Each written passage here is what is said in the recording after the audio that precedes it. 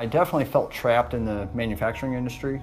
Um, I worked in lots of different types of factories for years, and really my body was just getting run down to the point at such a young age that I, I knew I needed something else. Software developers are employed in industries across the board, from healthcare to equine, agriculture, and manufacturing.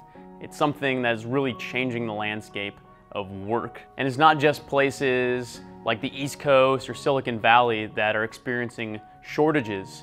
Um, Lexington is experiencing shortages in software development talent. Companies in the area, from big tech firms to small startups, are having trouble hiring qualified candidates. That's why we started this boot camp program. One of the most important things about using people that are in their second career is that they've kind of been through some of the learning things about being in the workforce in general. And so when you get someone in their second career that can be a little bit more focused and a little bit more motivated, they understand what they've been through and also what the possibilities of what they can be are. The boot camp is a 12 week training experience for aspiring software developers.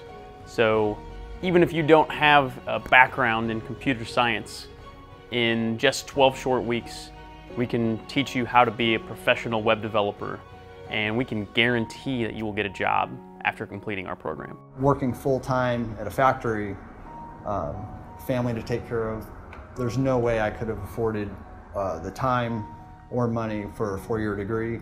Day in and day out, talking about code and working on projects together with other people uh, was very beneficial to my growth as a developer. To learn the next thing in software development, I need my laptop and I need a text editor. So we expect 50 to 100 applicants, but we have just 10 spaces available for this boot camp. So we encourage those who are interested to apply now on our website, awesomeincu.com slash bootcamp.